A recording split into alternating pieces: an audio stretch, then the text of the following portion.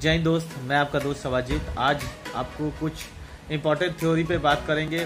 आपके देश में अभी कुछ बीमारियाँ चल रही थी, इसलिए हम उस पर बात नहीं कर रहे थे। आज इम्पोर्टेंट बात यह है कि जो चाहे आपका 4G हो, चाहे 5G हो, ये कहीं ना कहीं आपके मानसिक संतुलन पे प्रभाव डाल रहा है और आप इस चीज़ को ज़्यादातर ध्यान दिए होंगे कि आपकी शारीरिक क्षमता को भी कमज़ोर कर रहा है और मानसिक क्षमता को भी कमज़ोर कर रहा है। बहुत अधिक इन दिनों आपको देखने को मिलेगा कि फांसी की कारण लोग मर गए या हार्ट अटैक के कारण मर गए, या छोटी सी बात पे किसी से भी बड़ा विवाद कर ले रहे हैं।